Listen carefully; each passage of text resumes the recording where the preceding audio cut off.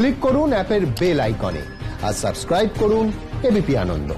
সব সময় থাকুন খবরে। উপাচার্যদের সঙ্গে আচার্যের ভার্চুয়াল বৈঠকে অনুমতি দেয়নি রাজ্য সরকার। অভিযোগ জানিয়ে মুখ্যমন্ত্রীকে চিঠি রাজ্যপালে। জানব আমাদের প্রতিনিধি কৃষ্ণেন্দু অধিকারীর সঙ্গে টেলিফোনে কথা বলে। কৃষ্ণেন্দু কি জানতে পারছ? দেখো আজকে রাজ্যপাল জগদীপ ধনকর মুখ্যমন্ত্রীকে একটা চিঠি লিখেছেন এবং চিঠিতে অভিযোগ করেছেন যে আচার্য হিসেবে তার কাজকে পঙ্গু করে দেওয়া হয়েছে।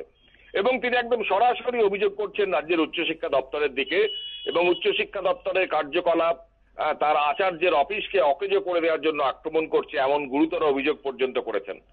এই আক্রমণের মূল কারণ তিনি কয়েকদিন আগেই উপাচার্যদের সঙ্গে একটা ভার্চুয়াল বৈঠক করতে চেয়েছিলেন, রাজ্যের সমস্ত উপাচার্যদের সঙ্গে। তার কিছুদিন আগেই শিক্ষামন্ত্রী উপাচার্যদের সঙ্গে বৈঠক করেছিলেন এবং সেই উপাচার্যদের সঙ্গে ভার্চুয়াল বৈঠক করার জন্য রাজ্যের উচ্চশিক্ষা দপ্তরকে প্রয়োজনীয় উদ্যোগ নেওয়ার জন্য বলেছিলেন, আচার্য এবং রাজ্যপাল হিসেবে চিঠিও দিয়েছিলেন। কিন্তু যেটা তিনি নিজেই জানাচ্ছেন যে উচ্চশিক্ষা দপ্তর থেকে জানানো হয়েছে যে বিধি অনুযায়ী এমন কিছু করার কোনো সংস্থান নেই আচার্যের।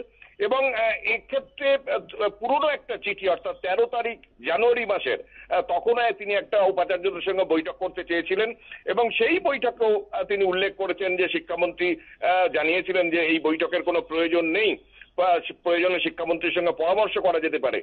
এবং গোটা বিষয়টা সেই পুরনো চিঠিকে উল্লেখ করে অ্যাটাচ করে আজকে মুখ্যমন্ত্রীকে সরাসরি এবং চিঠি লিখে আক্রমণ করেছেন যে যে বৈঠক তিনি উপাচার্যদের সঙ্গে করতে চেয়েছিলেন ভার্চুয়াল বৈঠক, সেই বৈঠকের সিদ্ধান্তে বাতিল করে দিয়েছে উচ্চশিক্ষা দপ্তর, করা যাবে না, বিধির কথা উল্লেখ করে বলেছেন এবং গোটা বিষয়টা বিস্ফোরক কিছু অভিযোগ করে মুখ্যমন্ত্রীর কাছে কার্যত বিহিত চেয়েছেন, প্রয়োজনে কথা বলতে চেয়েছেন এবং কেন উপাচার্যদের সঙ্গে বৈঠক করতে তাকে বাধা দেওয়া হচ্ছে, কেনই বা অনুমতি দেওয়া হচ্ছে না, গোটা বিষয়টা অভিযোগ জানিয়ে মুখ্যমন্ত্রী আজকে চিঠি দিয়েছেন। যদিও সরকারি তরফে এখনও কোনো প্রতিক্রিয়া এই আচার্য তথা রাজ্যপালের চিঠি সম্পর্কে মেলেনি।